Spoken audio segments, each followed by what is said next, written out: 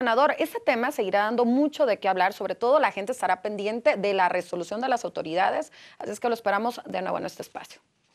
Y bueno, también a usted le recordamos que el SPR transmitirá las mesas de diálogo que se organizan en la Feria Internacional del Libro del Palacio de Minería, aquí en la Ciudad de México. Y bueno, también si desea comunicarse con nosotros, le pedimos que lo haga a través de nuestras redes sociales que están apareciendo en su pantalla, Facebook.